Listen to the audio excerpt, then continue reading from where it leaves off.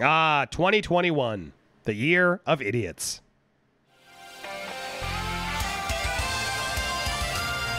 Welcome to Popcorned Planet. I am Andy Signore. And of course, Snow White's under fire. Every movie you loved ever is going to be under fire at some point or another because there's always something in there that one could complain about.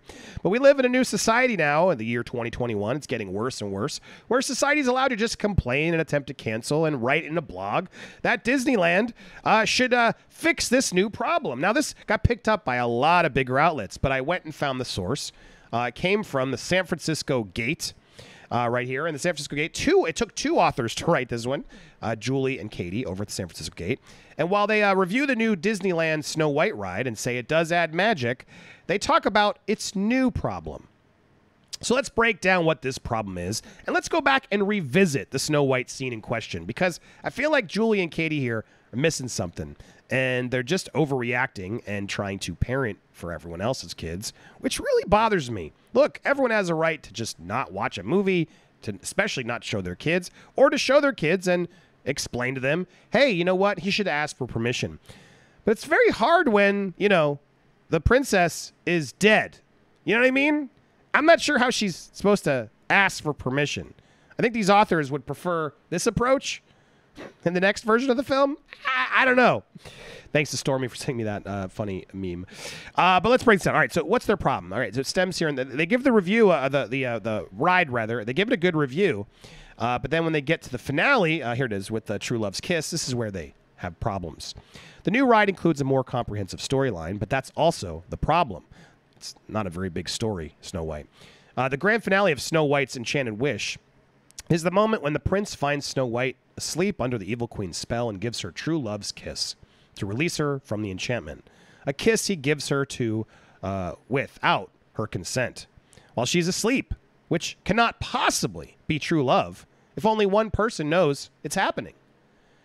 Have we already agreed that consent in early Disney movies is a major issue, that teaching kids the kissing when it hasn't been established that both parties are willing to engage is not okay?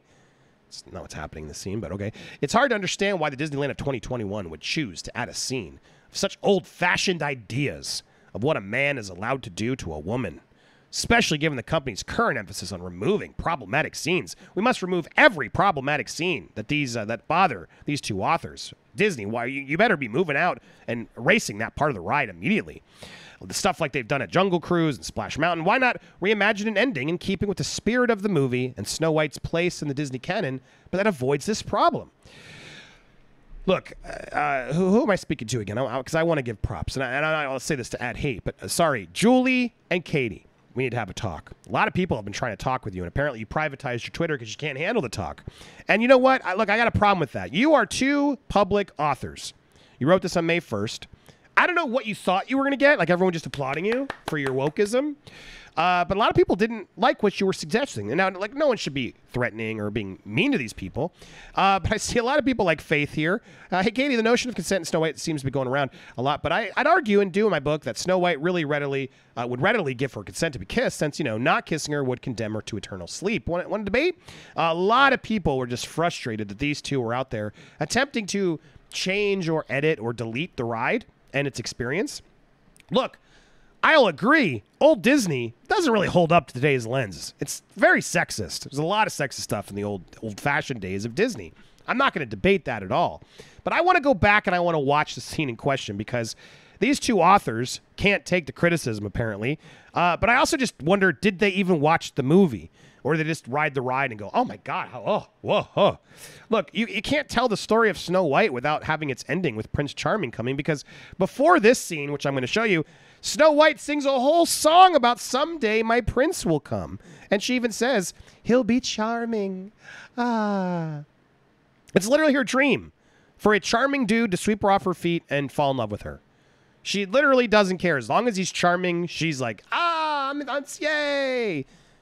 She's been singing about it the whole movie, guys. I'm sure she sung about it in the ride too. Did you? Were you sleeping during that part? Uh, furthermore, can we talk about Prince Charming? You want to call out that sleeping, you know, Snow White doesn't uh, is, doesn't get permission, but we talk about this how they just treat this man like a stack of meat. Look at this guy. They don't even give him his name. He's just the prince. Oh, he's charming, a charming prince. Who is he? The hell, we don't even get to know who he is. No, he's just Prince Charming because that's what Snow White wants. That's what Snow White wants. Don't you dare get it twisted. She's been singing about it happy forever. She wants this. They establish it in the movie. Now, granted, she can't wake up and go, it's okay. Granted, you can't do that scene. They've established throughout the movie that she wants the kiss from her true love prince. And in Disney movies, and I'm sorry, I don't know if you have two, if have kids or two authors, but you know, kids sometimes, especially younger, just like simple stories. Ah, true love. That they they kids think that's real. They don't know that you know most relationships go through countless relationships, and true love is kind of a hard thing to find.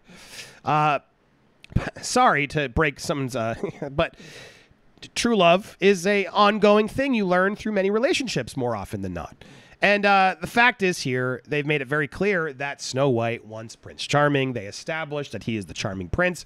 And at the very end of the show, uh, he literally shows up mourning along with all the dwarves to Snow White's funeral. She's in an eternal sleep where everyone is mourning. Flowers adorned around her coffin.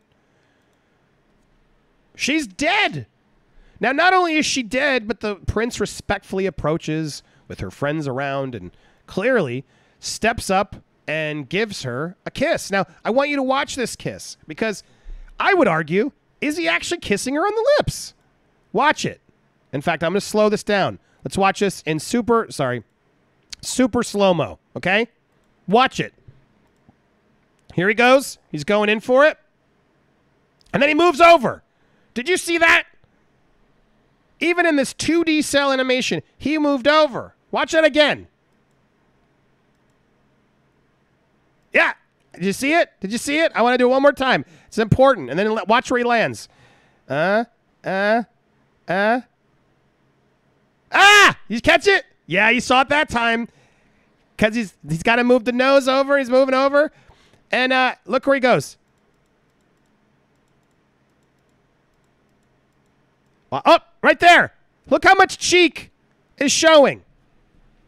Look how much cheek is showing. She's kissing his cheek. He's kissing her on the cheek.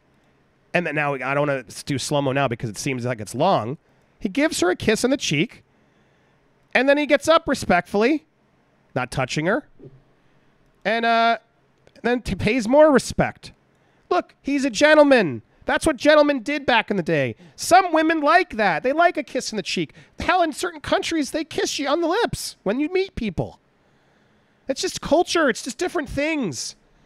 This is insane. What is she supposed to do? I mean, I'm calling you out, Katie and Julie. What are you talking about? What is she? What? what the whole movie is her talking about someday my prince will come. I will be in love and he'll be charming. And then here, charming piece of meat shows up. Finally, is what she's been singing about and dreaming about. And he gives her a kiss. What, what's going on? And then, of course, the kiss is so good. The kiss is so good. Look what happens. Oh my God, that was the most charming kiss of my life. Oh, I'm so tired. Uh, what? Huh? Oh my God, you are so charming. Oh, look at you. Look at them. They're both happy. This wasn't something that was done out of malice. This isn't something neither of them didn't want. Look how happy they are. Even the dwarves are bouncing out. This is a happy ending. This is what both characters wanted. That's what it's teaching to the kids. Now, you could argue about the fact that she didn't need a man. Frozen did that. You could argue about the sexism in these movies. I'm not going to deny that. Disney, that. That's what most people will criticize these movies for. But this idea that Prince Charming couldn't save her life and give her the CPR kiss because he needed to ask for permission first? I mean, what are you? Come on. This is silly. This is silly. And I'm sorry, the fact that you now are like privatizing because you can't handle the criticism, oh, then don't be journalists. I'm so sick of this world where these journalists are out there, and you're journalists, you're not just regular people. You put your names on this and you attach your own Twitters to the author, the, the your you know your author links. Excuse me. Um, you you did it. So the reality is, then we're allowed to criticize back because you're out there attempting to burn this movie and this ride down.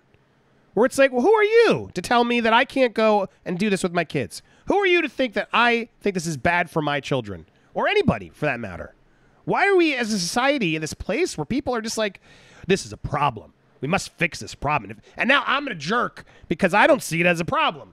Oh, Andy's trouble. Ugh, screw Andy and his channel. Oh, it's just sickening the world we live in. This isn't about left, right, or pol- this is just about the uh, these weird mindsets of new this new world we live in, where people are just dictating what you're allowed to do. I don't I don't get it. I don't get it. This is not a problem. This is overreacting. Now look, authors are allowed to write the response. I guess they're allowed to put their place out there, but I don't know. This is like a news. This is like article. Granted, it's a, a review, but I, do, you, do you guys get what I'm saying? Like, why? What what is her? What are they? What is their goal? Is their goal here to try and shut the ride down? To remove the true love's kiss moment at the end? To not have her be asleep? To just rewrite the classic Snow White story? Because in 2021, well, you can't show her getting a kiss from a man while she's asleep, even though she's been singing about the whole time. What? What? You're saying? Oh, well, show a different ending that keeps the themes. Well, I'd love to hear your pitch. The spirit of the movie, the whole spirit of the movie is sexist. She's like a teenager underage and eating a poison apple from a. I mean, this is not a good story. Let's be honest. The fact that you're like, oh, let's keep a story. No, if you don't like it, then cancel the whole movie or have some at least integrity here. What what spirit of the movie? Bunch of weird dwarves that keep her in their house. Excuse me. I held in the cough. I'm still getting over my cough. I'm feeling better. I, I'm just look. I'm at a loss. This is so ridiculous to me. The state of things. Uh, and this is, come on. Yeah, you deserved a little flack for this article because it's stupid. It's a stupid take. And ignore the hate. If you want to double down and do this, then ignore it. Don't private. What are you talking about?